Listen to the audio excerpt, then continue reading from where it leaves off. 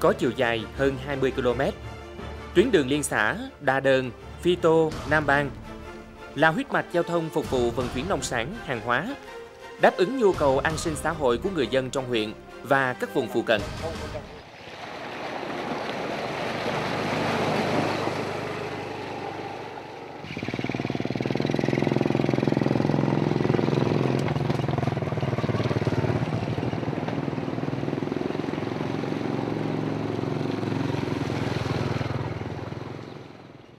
Đường đã xuống cấp nghiêm trọng, xuất hiện ổ voi, ổ gà. Nguy cơ mất an toàn giao thông luôn rình rập. Con đường này bây giờ quá xuống cấp chứ không phải là xuống cấp nữa. Chúng ta là thuộc nông thôn mới rồi, ta nên làm lại đi. Đấy.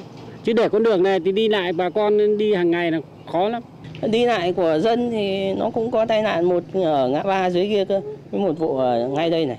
À, có chết chết người không ạ? À, chết ạ, à, chết hai người. Còn uh, cái việc mà ngã là chuyện bình thường. Dân chỉ có biết là kiến nghị là làm cái con đường này thôi chứ còn tôi cũng chả biết nói nào cả. Mùa mưa, đường biến thành sông. Một số hộ dân gần như bị cô lập.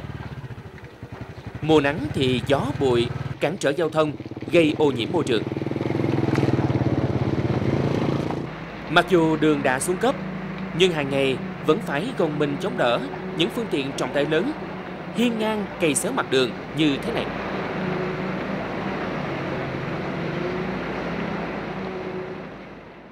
Con đường này á, xe trọng tải lớn ba bốn chục tấn cát đá qua lại đây rất nhiều mà chúng tôi là người dân ở địa phương này là rất là bức xúc nhưng mà cũng đâu có làm gì được. Không chỉ nhiều lần kiến nghị, trong các buổi tiếp xúc cử tri, nhân dân liên tục phản ánh. Tuy nhiên, đường vẫn tiếp tục xuống cấp Vậy chính quyền địa phương nói gì? Lý do lớn nhất là các cái xe chở cát trọng tải lớn, chở cát từ các cái mỏ cát của ở xã Đại Đờn ngang qua cái tuyến đường này. Trong mùa mưa ừ, thì xe mà đi nữa thì à, gần như là chúng tôi bị cô lập.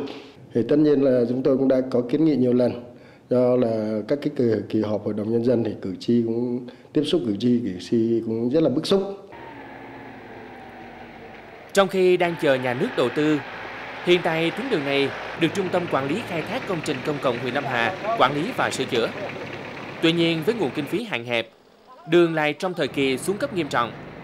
Mặt khác trên tuyến đường này, hàng ngày có rất nhiều phương tiện trọng tải lớn lưu thông, dẫn đến việc duy tu khó đảm bảo. Cái đường này đã được tỉnh là cho chủ trương đập giá đầu tư.